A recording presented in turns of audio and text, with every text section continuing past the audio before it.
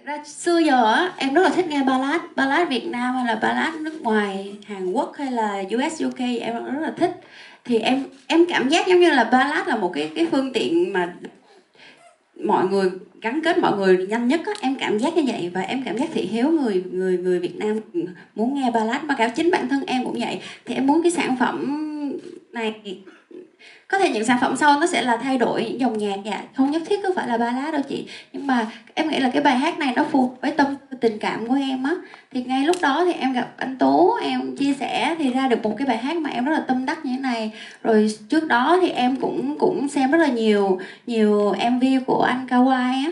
Thì em cũng rất là muốn được làm việc với người này. Thì em nhờ quản lý của em liên hệ làm thì thì rất là may cả ba người link được với nhau chị còn còn câu thứ hai nãy chị hỏi là, thật ra em bây giờ vẫn vậy à, không khác đâu chỉ là vì hôm nay em mặc cái đầm này nên chị cảm giác em nữ tính chứ cũng cái dáng ngồi này mà em mặc cái áo thun với quần jean này thì vẫn là em như bình thường thôi tóc em bây giờ tới đây rồi này là tóc giả, nãy khánh nó lỡ nói.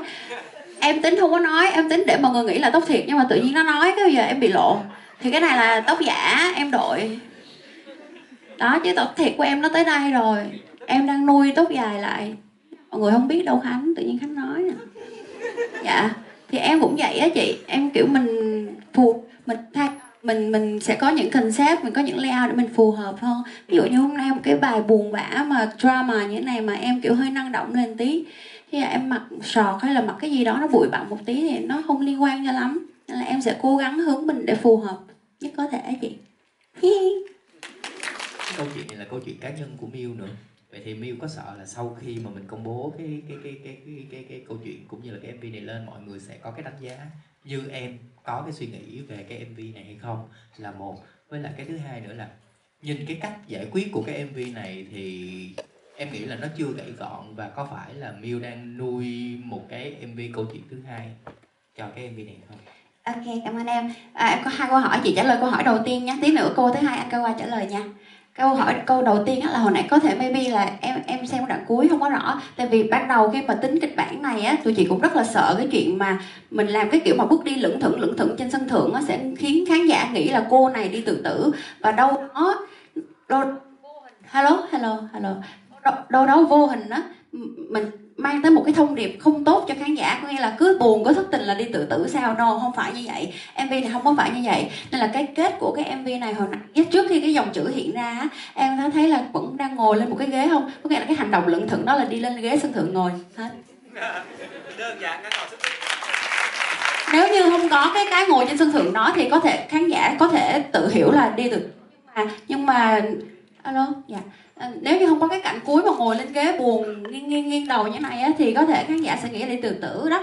Thì đó là cái mà mà tụi chị đã tính từ trước nên là rất là sợ kiểu khán giả xem sẽ nghĩ là ủa cứ thất tình là phải tự tử sao? Nó không phải như vậy. Nên là không có tự tử nha. Lên ngồi thôi đó. Ừ. À, dạ. À, còn câu hỏi số 2 là mình có làm tiếp phần 2 hay không á? Thì uh, cái này Kawai cũng không biết Miu tính gì nhưng mà riêng về góc độ công việc của Kawai á, thì uh, bản chất của một cái à, cái MV của Kawai làm nó cũng khác với một cái phim ngắn. Uh, có nghĩa là tất cả cái nội dung mà Kawai truyền đạt trong một MV nó sẽ rơi đúng vào cái thời điểm mà cái cái câu chuyện nó xảy ra ở trong cái bài hát đó. Ví dụ như khi người ta yêu nhau người ta chia tay sau chia tay người ta có cái gì đó thì bài hát nó chỉ khai thác một cái giai đoạn ở trong cái cuộc tình đó. Và nhiệm vụ của Kawai là gợi ra được cái cảm xúc mà cái bài đó muốn nói thì cái câu chuyện nó dừng ở đó để nói lên cái cảm xúc của cái bài hát này. À, sau đó nhân việc nhân vật giải quyết như thế nào chuyện gì xảy ra tiếp theo có thể nó nó thuộc về một cái bài hát khác. Và nếu là nhà sản xuất có một cái dự định tiếp theo thì cô ai sẽ welcome để làm tiếp thôi ạ. Và cuộc sống á, nếu mà uh, chị lâm vào cái tình cảm như thế này thì chị có sẽ có giải quyết như trong mv không? Hay là chị sẽ lựa chọn một cái hướng khác? À, và câu hỏi thứ hai thì em dành cho anh à, đạo diễn Kawai là vì sao thì anh lại lấy cái bối cảnh? Uh, có vẻ là Sài Gòn thập niên à, 80 đúng không thì à, có thể một lý giải là một cái lý do nào đó mà chọn cái background như thế này cho MV comeback của chị Miu lên. Em cảm ơn ạ. À. wow, câu hỏi này hay á. Câu hỏi hỏi của em, hỏi câu đầu tiên á. À Villa chia sẻ với mọi người như thế này nhé có một cái điều khó khăn lúc đầu mà khi mà chuẩn bị quay cái MV này á, là đối với Miu á, cái khó khăn, một trong những khó khăn là tìm diễn viên nữ. Tại vì Miu đặt tiêu chí cho anh Kawai á, là bạn nữ phải xinh, ưa nhìn, nhưng không được quá xinh. Vì sao? Vì Miu rất là sợ khi mà quá xinh lên hình, khán giả coi tới cuối MV khán giả sẽ nói, nó xinh vậy, bỏ con này là đúng rồi đó mình rất là sợ cái cảm giác đó. Nên là mình nói anh phải lựa một người diễn tốt mà xinh vừa đủ nhìn nhưng mà phải thật là khác em. Nó cuối cùng chọn ra được thi. Thì hôm nay cảm ơn thi nha. Hôm nay thi lên hình rất là xinh và và và rất là tròn vai lan thi nha. À, thì ờ, um, Miu có nói à, cái đó là ngoài lề không phải vô câu hỏi và vô câu hỏi nha. À, hồi- có nói với anh Kawai là em không muốn có nhân vật xấu nào ở trong MV của mình hết em không muốn nhân vật thứ ba sẽ là một cái cô đánh đá đi giật bồ hay là cướp người yêu. Này kia em không muốn một cái năng lượng tích uh, xấu như vậy trong mv vì sao? Vì em cảm giác được khi mà cái nhân vật người thứ ba đó họ xấu họ ác họ có mưu toan họ họ này kia thì đồng nghĩa với việc là khi mà khán giả xem nhân vật của Miu họ sẽ không cảm thấy Miu đáng thương nữa. Miu không biết nữa Miu tự nghĩ ra điều này. Miu nghĩ là trong một cái hoàn cảnh mà không ai xấu hết nhưng mà cái hoàn cảnh rất là trớ trêu một cái một cái một cái cái hoàn cảnh rất là, kiểu, lâm ly bi đát á.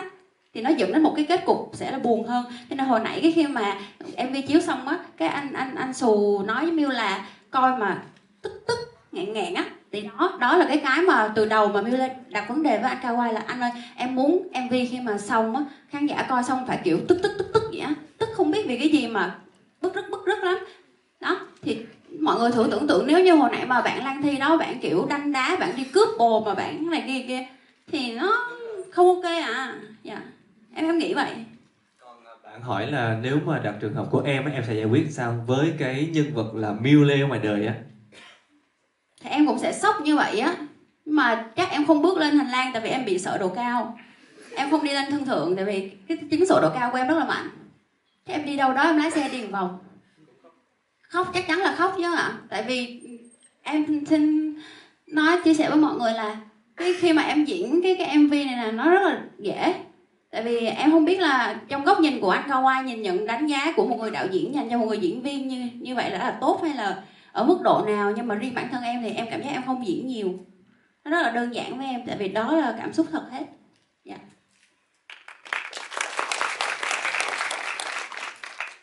À, còn câu hỏi số 2 là bạn hỏi tại sao chọn cái background bối cảnh ờ, và phong cách như vậy?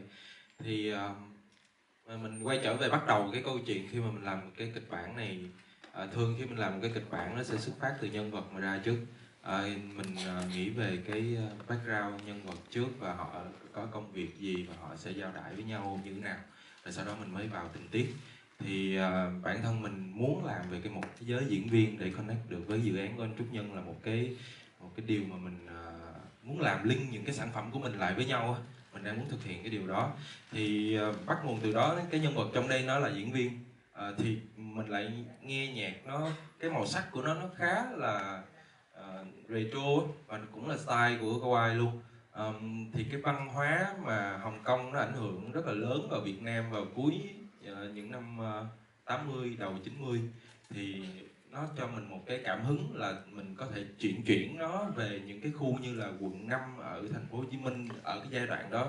Nó có một cái màu sắc mỹ thuật mà nó cho cái quay rất là nhiều cảm hứng để thực hiện. Thì à, đó là cái lý do mà cái quay chọn cái phong cách như vậy.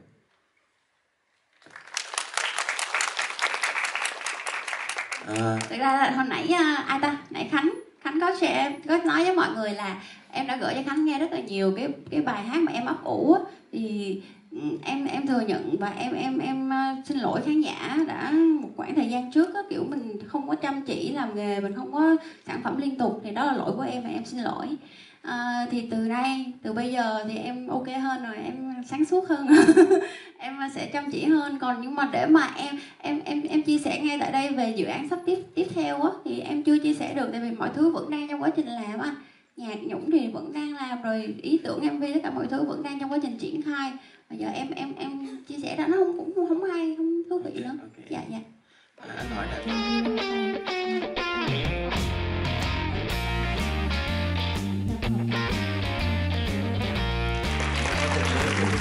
À, lần này chúng ta sẽ uh, review trở lên nghe nói là